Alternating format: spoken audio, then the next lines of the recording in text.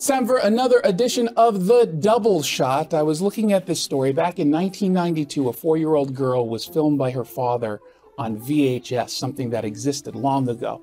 And on it, as this little four year old girl, she turns the camera, I'm a Mary Tommy, my boyfriend, or whatever it was. Boy They're four years on. old, Yeah, yeah, they're yeah. not boyfriend and girlfriend.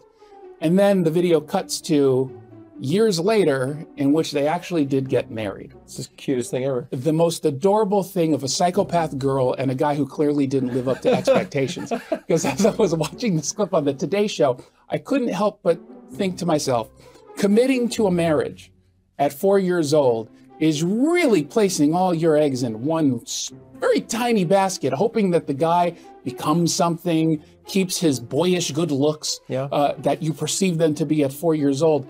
Uh, he most definitely did not. He is not a good looking person, and she decided to stick with him, which then makes me think about her being a psychopath because she looks attractive. She's an attractive woman She- who now settled because at four years old, someone pressured her into, you know, hanging out with Tommy. Do are we allowed to post the video, or could people? Do people have to go find the video? Here's the video. Who's gonna be your boy you're marrying? I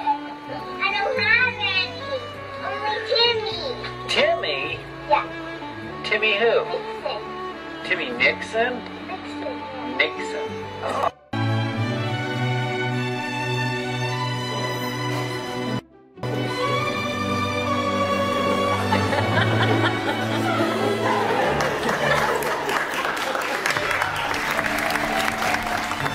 She still looks very excited to be marrying him. You saw it at the at Mm-hmm. Yeah, the, 'cause she's a crazy at the person. altar. She's like jumping up and down, which is I wasn't sure my reaction to that. I was If your wife at the age of four said she wanted to marry you, you'd be creeped out.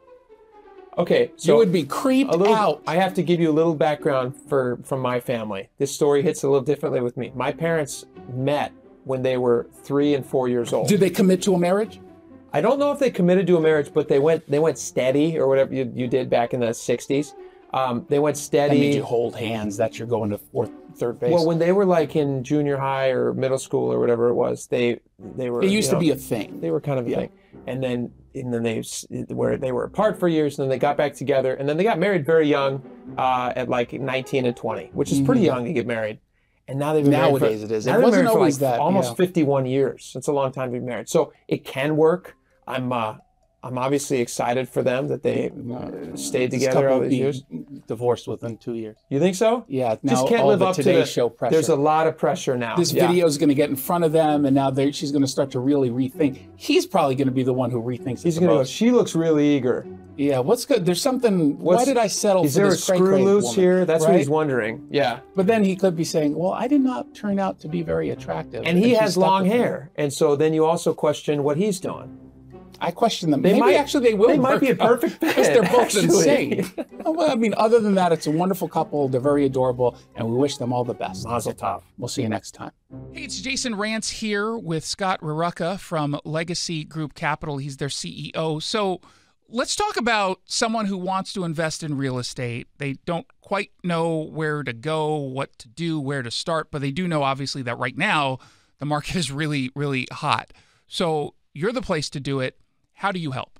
Yeah. So how we help is, you know, we've been investing in the greater Seattle area for over 20 years, and we have a a, a historical track record that is we're we're super proud of. Um, double digit returns.